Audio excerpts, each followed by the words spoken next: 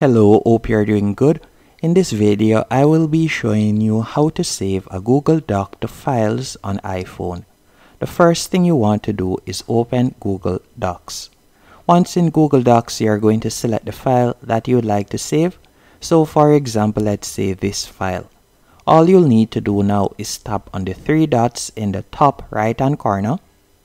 Then from here, you're going to select Share and Export then you're going to tap on send a copy and you're going to select the format whether PDF or Word. We're going to be selecting PDF. Then you're going to tap on OK. After you have done that from the pop-up at the bottom right here, you're going to scroll up and you're going to see the option save to files. You're going to tap on that. Once you have tapped on that, you will tap on save in the top right hand corner and then it will automatically be saved. You can see that I have one saved right there. I'm just going to tap on replace.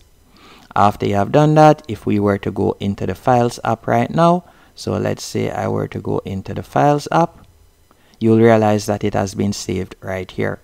And that's it. Hope you found this tutorial helpful and informative.